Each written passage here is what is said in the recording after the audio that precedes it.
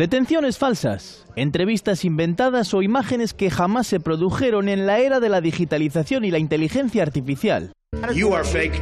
Cada vez es más difícil diferenciar la verdad de las fake news. Destacamos sobre todo la industria del engaño, que es lo que hemos venido a llamar a todas aquellas herramientas eh, cibernéticas, redes sociales, que son capaces de confundir de engañar. Una industria del engaño que no solo afecta a la profesión, sino que es una grave amenaza para toda la sociedad. Para que la ciudadanía sea una, una ciudadanía informada, formada, valiente. Y es que la información es un arma poderosa y la invasión de Ucrania un claro ejemplo de ello. La mayor amenaza es una guerra de información como la que estamos viendo en Ucrania. Un conflicto en el que no solo se utiliza la propaganda y la desinformación, sino que también hay dos periodistas detenidos. El corresponsal de Wall Street Journal Evan Gersovich en Rusia y el vasco Pablo González en Polonia. Eso dice muy poco del rigor democrático y de la transparencia de un país. Según el ranking que anualmente publica Reporteros sin Fronteras, hay ocho países donde la situación para ejercer la libertad de información es muy buena. Los ocho son países europeos, con Noruega, Irlanda y Dinamarca a la cabeza.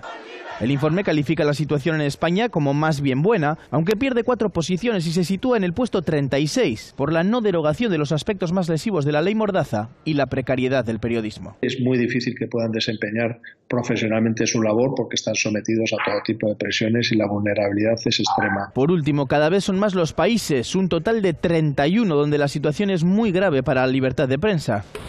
Cierran la lista China, donde periodistas han sido encarcelados por informar sobre la existencia de la COVID, y Corea del Norte.